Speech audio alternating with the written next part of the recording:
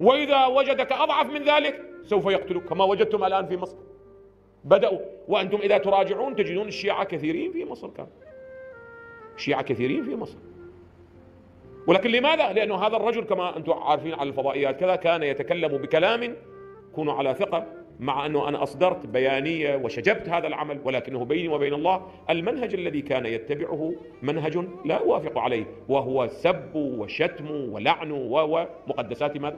مقدسات الآخر هذا ليس منهج. أنتم بينكم وبين الله سواء كان في المجالس العامة أو في المجالس الخاصة على المنابر على الكتب. الآن مراجع الشيعة المعاصرين رأيتم أحدا منهم يتعرض لمقدسات الآخرين سمعتم مرة؟ بل سمعتم العكس. ينبغي ماذا؟ أن تحترموا مقدسات الآخرين هذه فتاواهم انظروا إليه أين تجدون في كلمات مراجع الشيعة المعاصرين من أجاز لكم أن تنتهكوا ماذا؟ حرمات مقدسات الآخرين إذا الطريق الصحيح لإيصال ما نعتقده أنه الحق وهو الحق. نحن نعتقد أننا على الحق وإن شاء الله أننا على الحق. وإن شاء الله. أن الطريق لذلك يمر من خلال ماذا؟